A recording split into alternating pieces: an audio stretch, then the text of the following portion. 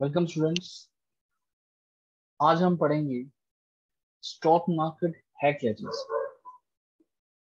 हम सब के लिए स्टॉक मार्केट की डेफिनेशन शायद अलग अलग है. लेकिन आज हम पढ़ेंगे सटीक डेफिनेशन क्या होती है स्टॉक मार्केट चलिए शुरू करते हैं आज का सेशन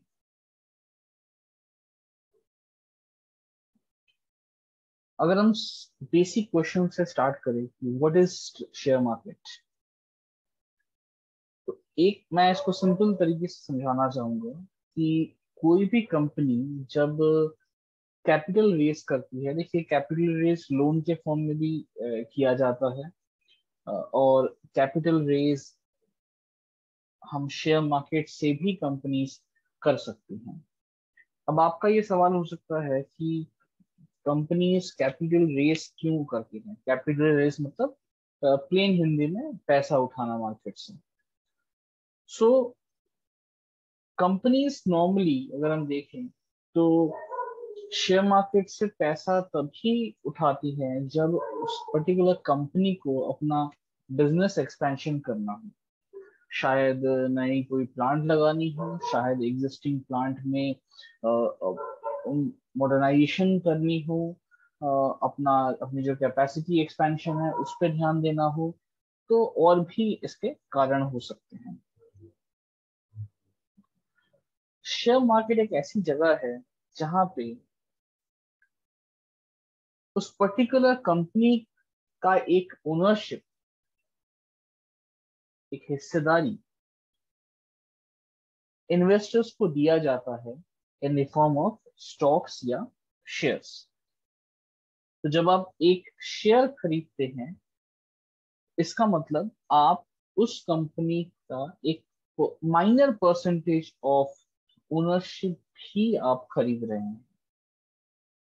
तो आप कह सकते हैं कि शेयर मार्केट जो है, वो एक इंटरफेस है किसके बीच में? कंपनीज़ और इन्वेस्टर्स के बीच में।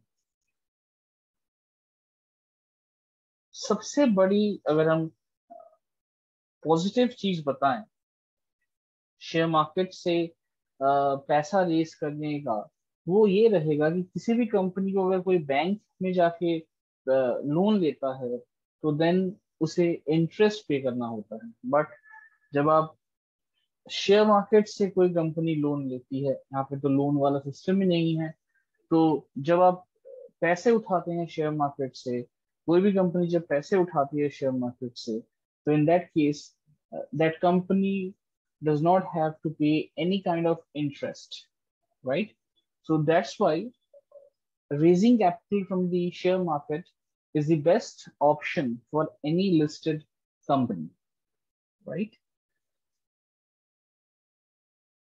एक और चीज की if you take historical uh, figures you'll always see that the share market has always provided the best long term returns.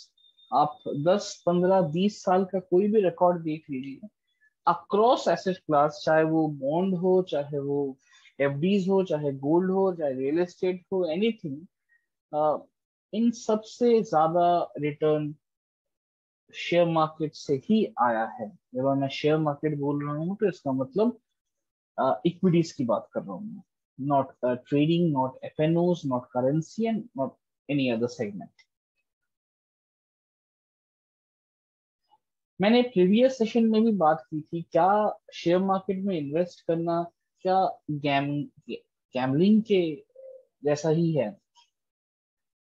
तो अगर आप देखें ज़्यादातर लोग यही सोचते हैं कि शेयर मार्केट में पैसा लगाने का मतलब गैमलिंग करना मतलब जुआ खेलना लोगों को ये लगता है कि शेयर मार्केट का मतलब सिंपल है buying low and selling high मतलब कम भाव में खरीदो और ज़्यादा भाव में बेच दो। लेकिन को, कोई भी इंसान इस चीज़ को ये नहीं समझता कि उस स्टॉक का प्राइस क्यों बढ़ रहा है या क्यों घट रहा है। एक्चुअली लोग सोचना भी नहीं चाहते। लोग शेयर मार्केट के लॉजिक को समझना भी नहीं चाहते। बिकॉज़ उसको समझने के लिए उसे काफ़ी मेहनत करनी पड़ेगी।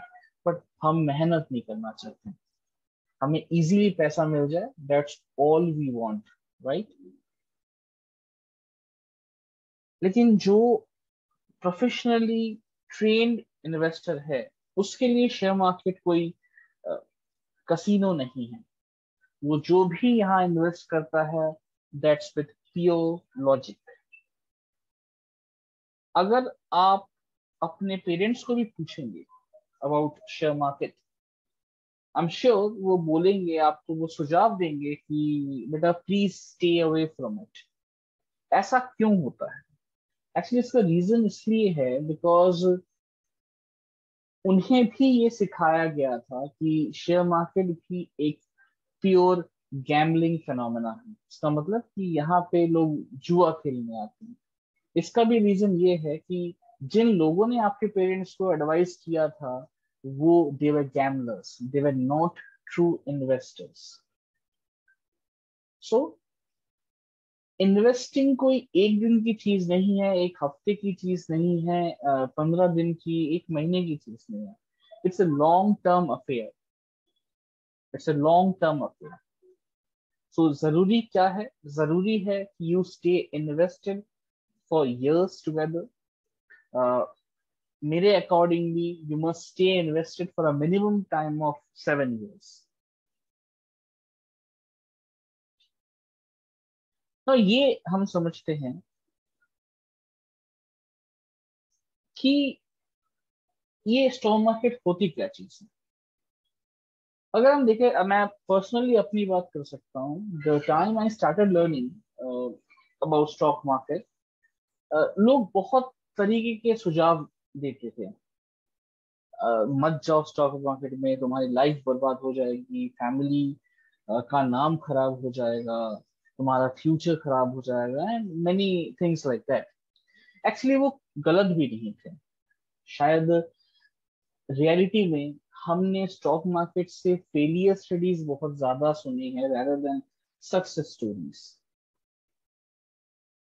लेकिन ये भी आपको समझने की ज़रूर, एक ज़रूरत है आपको कि लोग फेल क्यों होते हैं? लोग फेल इसलिए होते हैं बिकॉज़ जिन लोगों ने स्टॉक मार्केट में पैसा लगा के लॉस किया है, आप एक बार उनसे ज़रूर पूछिएगा कि उन्होंने अपने इन्वेस्टिंग जर्नी के दौरान कितनी बुक्स पढ़ी थी? कितने उन्होंने अपने सेल्फ लर्निंग पर खर्चा किया था? कितने कौन कौन उनके मेंटर्स थे? क्या वो फ्यूचर ऑप्शंस में ट्रेड करते थे? क्या वो इंट्राडे करते थे? तो ओवरऑल अब देखेंगे 90 टू 95 परसेंट रीजन आपको इन पाँच रीजन में ही मिलेंगे सो it comes to investing it's a pure business logic. It's, there's no room for gambling right? मैं हमेशा कहता हूँ share market is like a formula one car I am sure आप में से काफ़ी लोग फॉर्मूला वन फॉलो करते हैं।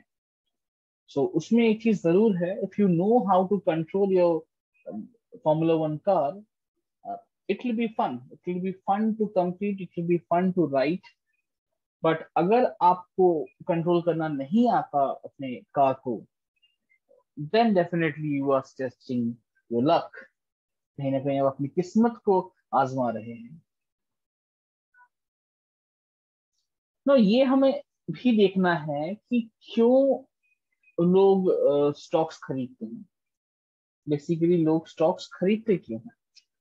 लेकिन ब्रॉडली लोग स्टॉक्स खरीदते हैं दो रीजन के लिए। डेफिनेटली नंबर वन इज़ उनका कैपिटल अप्रिशिएट करे। जब मैं कैपिटल अप्रिशिएशन की बात करता हूँ दैट मीन्स आज आपने एक कंपनी का शेयर खरीदा है हंड्रेड रुपीज़ पर शेयर के रेट से और आपने उस कंपनी में टेन इयर्स के लिए इन्वेस्ट किया है। तो जब दस साल बाद अगर आप उस कंपनी के शेयर को बेचेंगे तो लेट से अगर उसका, उस टाइम का जो रेट है वो है eight hundred rupees that means आपका कैपिटल एप्रिशिएट हुआ है बाई सेवन हंड्रेड रुपीज़ एक, इस रीजन की वजह से भी लोग स्टॉक्स खरीदते हैं।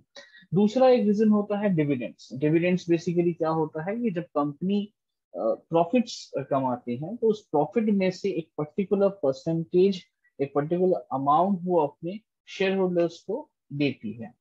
ये इंटरिम डिविडेंड के रूप में भी दिया जाता है ये फाइनल डिविडेंड के रूप में भी दिया जाता है.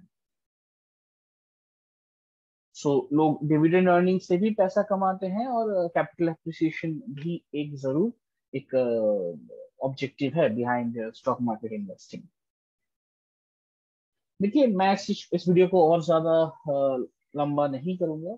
मैं बस इतना कहूँगा कि share market basically it's a financial institution right जहाँ पे आप शेयर्स खरीद भी सकते हैं बेच भी सकते हैं। अगर शेयर मार्केट ही नहीं होता तो जो आप आजकल न्यूज़पेपर्स या डिजिटल मीडिया में देखते हैं पब्लिकली हेल्ड कंपनी ऐसा भी नहीं होता। बिकॉज़ फिर पब्लिक का कोई स्टेक नहीं होता इन कंपनीज़ में। तो शेयर मार्केट की वजह से ही it has open a room for the public for the common man to participate in a company's growth कौन सी कंपनी आप चूज़ करते हैं that's up to you so the success and the failure of a particular stock's performance is also dependent on your particular uh, choice of the company. Now, share market ने ही कहीं ना कहीं इस चीज़ को हेल्प uh, किया है एक कॉमन uh, मैन को एक पार्ट ओनर बनने के लिए लेट्स से इन्फोसिस जैसी कंपनी लेट्स से टीसीएस जैसी कंपनी लेट्स से रिलायंस जैसी कंपनी उसका शायद आप 0.0001 परसेंट हिस्सेदार हैं बट आप उस कंपनी के हिस्सेदार ज़रूर हैं। And that's a very very big thing so इसको रियलिटी में लाने के लिए जो प्लेटफॉर्म है दैट इज़ शेयर मार्केट अगर किसी इंडिविजुअल को उस टेक्नोलॉजी के बारे में, उस प्रोसेस के बारे में कुछ पता नहीं है बट स्टिल वो इंसान इस कंपनी का एक पार्ट ओनर ज़रूर बन सकता है। ऐसा मौका, ऐसी अपॉर्चुनिटी आपको किसी भी बिज़नेस किसी भी प्लेटफॉर्म किसी भी जगह आपको ये कह सकते हैं अपॉर्चुनिटी नहीं मिलेगी। So at last I must say that share market is the most powerful money making machine for a common man जब मैं मनी मेकिंग मशीन बता रहा हूँ तो आई मीन इट अगर आप इस चीज़ को अच्छे से सीखना चाहें तो डेफिनेटली फॉलो करें इस पर्टिकुलर चैनल को। और जहाँ पे मैं आपको समझाऊँगा कि how a common man can generate money out of the stock market कैसे एक स्मॉल इन्वेस्टमेंट से, एक कंसिस्टेंट इन्वेस्टमेंट से आप बियॉन्ड अ करोड़ आप कमा सकते हैं। मैं सिखाऊँगा आपको। बने रहिए है।